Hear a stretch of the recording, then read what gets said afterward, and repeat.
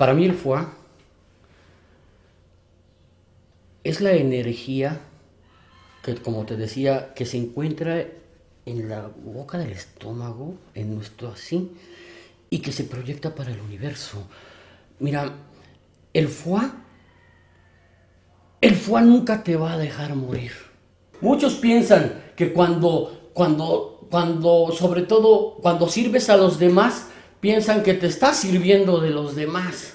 Y no, cuando tienes una verdadera vocación de servicio, no hay ningún interés de por medio, no hay ningún interés mezquino, no, no existe la mezquindad. Ese es, un, es una persona, no solamente es una persona inteligente y capaz, no, tiene la sensibilidad, la sensibilidad ante el dolor ajeno. O sea, él no se sirve de la sociedad, Él sirve a la sociedad.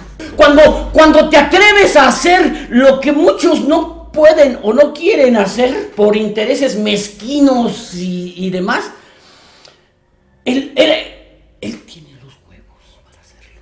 Roberto Sandoval. Perdóname por la vulgaridad.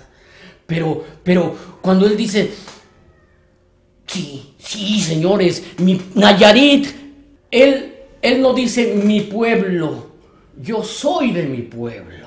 El pueblo no es mío, yo soy de mi pueblo. Ya basta, ya basta, de que la gente viva en la inseguridad, de que la gente viva como si estuvieran presos en sus propias casas.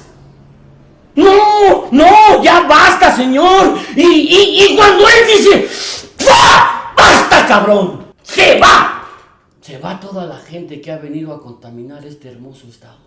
Cuando otros partidos, sin mencionar ninguno en particular, cuando otros partidos atacan tan fuertemente a, Roberto, cuando lo atacan es porque están manifestando su propia debilidad, su complejo de inferioridad, porque no se sienten capaces de hacer las cosas limpiamente.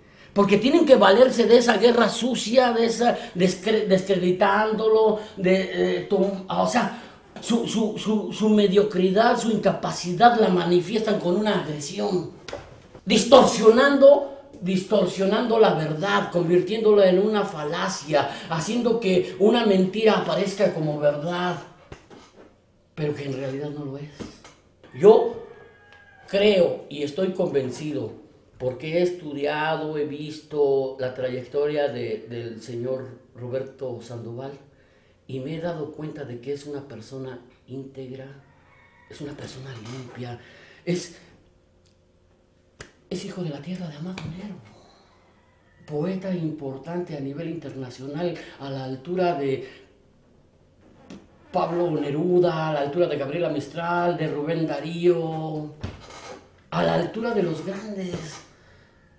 Amado Nervo fue alguien muy importante, pero lo más importante es que nos heredó el pensamiento y sentimiento de justicia y equidad. Yo no voy a ser cómplice de una mentira. Y estoy en contra, en contra de los que difaman y distorsionan la verdad. Para mí, para mí es un guía maestro y ejemplo a seguir de cómo se puede uno superar en la vida el señor Roberto Sandoval. Cuando Roberto habla y dice, se va, el penal se va,